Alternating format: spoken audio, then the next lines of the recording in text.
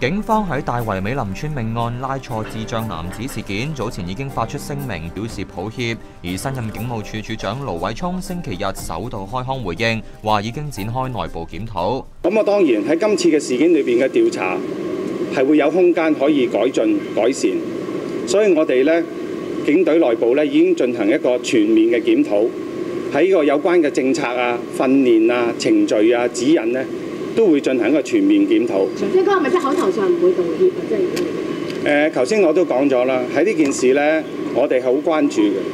嗰、個、呃、我哋當區嘅同事已經數次向佢家人解釋咗啦。我哋呢亦都發咗呢個聲明，呢、個聲明亦都係公開嘅，亦都得到佢嘅家人，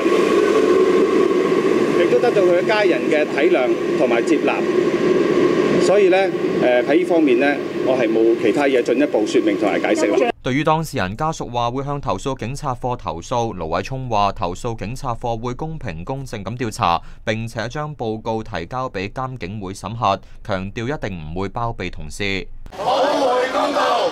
另外，大約二百人，包括部分殘疾人士，由灣仔修頓球場遊行到警察總部，促請警方公開調查，並且喺三個月之內交代結果，為事主討回公道。又要求同署長盧偉聰見面。